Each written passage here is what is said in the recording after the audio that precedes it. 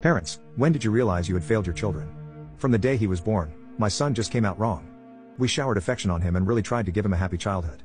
But from the day we brought him home from the hospital, he was miserable. He cried for 13 months straight. He cried until he had no voice left and kept crying. You could see his little face scrunched up and no sound coming out, totally hoarse. Once he got over the crying stage, we thought we were out of the woods. But it quickly became clear that he was just angry at being alive. I never saw that kid have a genuine, joyous smile once in the time I knew him. I saw him grin a vicious, horrible grin many times. He took a perverse pleasure from causing pain or suffering or breaking a rule, but a smile from real pleasure at something nice? No, never. Not once. He had no interest in anything positive. He was fueled by hate, and everything he did was bent toward that. As soon as he could walk, his mission in life was to destroy things. He would break or try to break anything that came in his range. When he grew older, he became more and more unmanageable. Therapy and meds were hopeless. He would bite, kick, scream, scratch and spit at anyone trying to do anything with him. He was kicked out of school twice before he was 9. The next school put him in a special class that kept him away from the other students. We had to install a door and lock on the kitchen because he would steal knives and use them to gouge the walls and furniture or chase people with them. When he was 10, he stabbed me with a kitchen knife in the hip and butt. I still have the scars. As he grew older, he grew darker. He moved into setting things on fire and torturing local animals. There was a stray dog that hung out around the park near our house. My son blinded it in one eye with a barbecue fork. He would dip cats' tails in gasoline and light them on fire. He became a violent, stinking, vicious beast that lived in our house.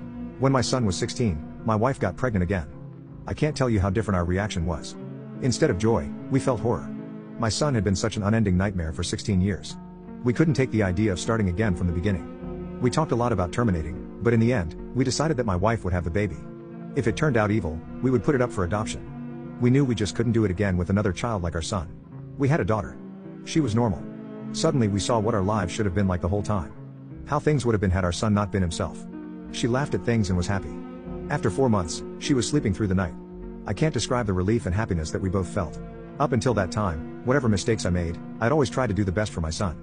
I tried to love him and care for him, I really tried. But when my daughter was born, my wife and I both instinctively just turned toward her. She became our focus, not for malice, but just because she was so much easier. She was so happy and sweet. Every moment we were with her was like magic. I understand this was wrong, but we honestly couldn't help it. My son hadn't cared about my wife being pregnant. When we brought our daughter home, he started acting out even more. At this time, he was 17, and we were having blowout screaming matches daily. Usually, after we fought, he would storm out of the house and disappear for hours at a time, or come back the next morning. It was a relief. I started to actually look forward to our fights because it would get him away from us for a while. After the birth of our daughter, my relationship with my son was almost entirely gone. Our only real interactions were screaming at each other. My wife was even worse with him, she just had nothing left.